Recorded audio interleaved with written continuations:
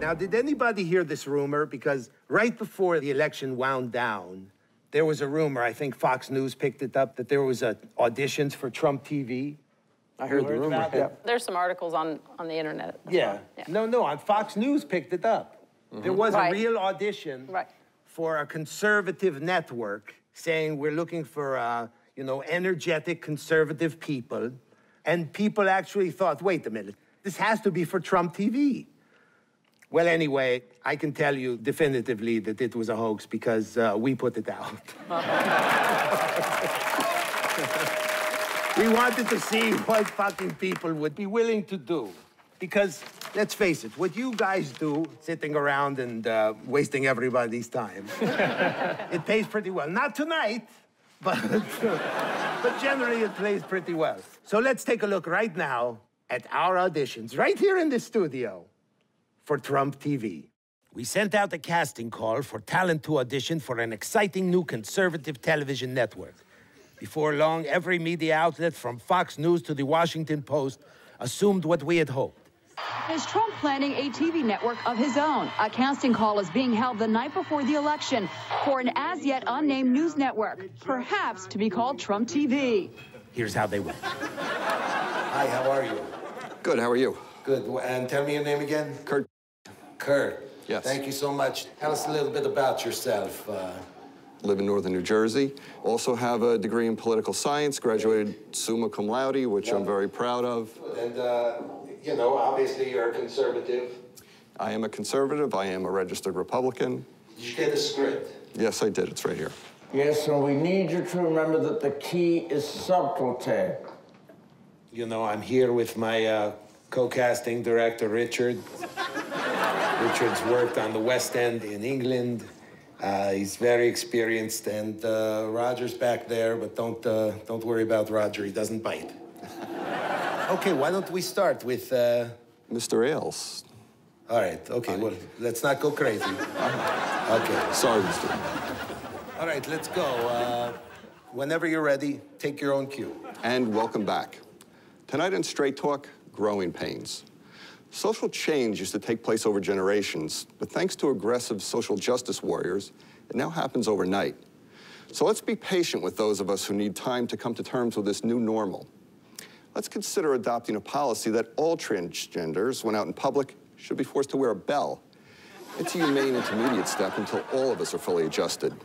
And aren't we entitled to that? Yes. Hello. Thank you for coming. This is Joey. Yes. Yes, okay, very good. Uh, thank you for uh, coming. Trump supporter from the beginning? Uh, about two months before he announced, I basically was fighting with every Republican that he has to be the nominee and that he's definitely going to run. what was it that you saw that they didn't? I saw somebody that's not a crook like all the rest of them. Damn straight. Okay, so we have a number of great uh, scripts for you. These are all uh, approved editorials uh, approved by Mr. Trump himself. And please remember, keep your eyes open.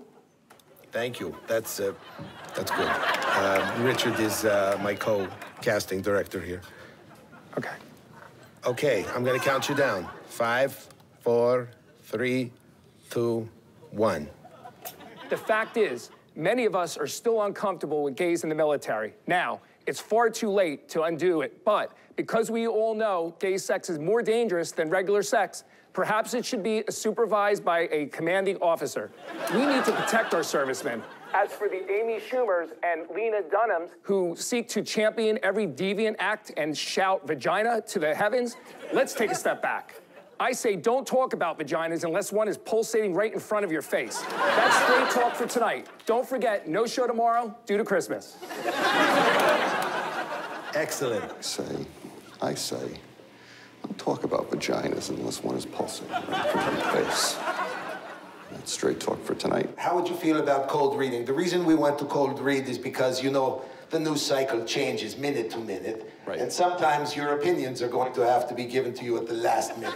That's fine. This one's about uh, this character, Amy Adams, this actress, who bashed uh, Mr. Trump uh, recently. So Mr. Trump really wants to, uh, you know. Don't blame him. Okay, whenever you're ready, take your own cue. Tonight on Straight Talk, big mouths. Over the weekend, actress Amy Adams was asked for her take on this year's contentious presidential election. She said she was, quote, surprised at the tone of Donald Trump's mission to make America great again.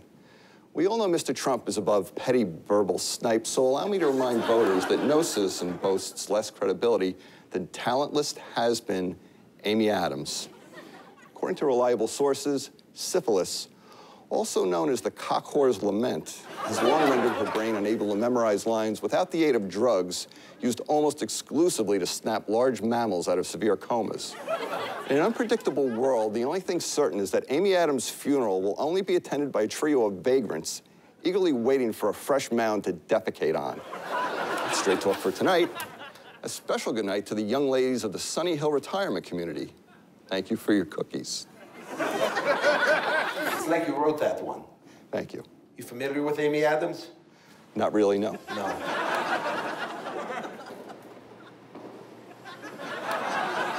You're not afraid of dressing it up with a little rhetoric the way Mr. Trump does.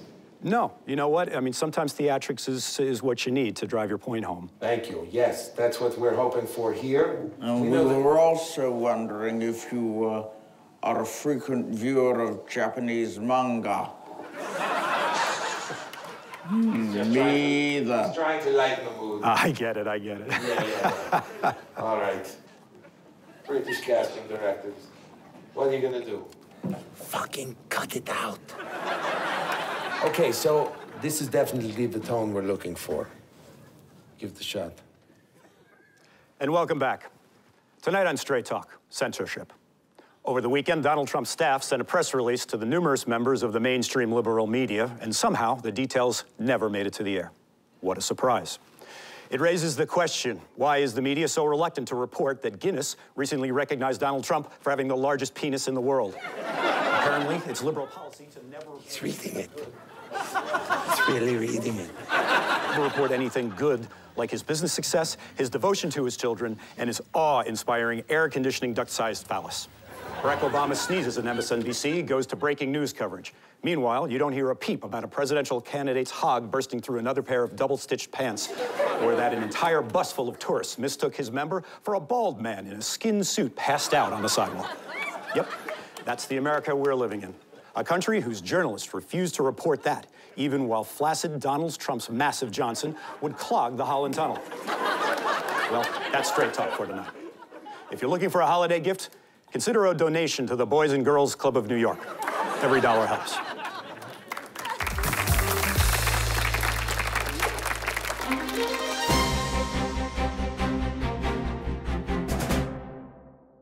Hulu. We cover the elections like a fly on shit. Which reminds me, it's time for lunch.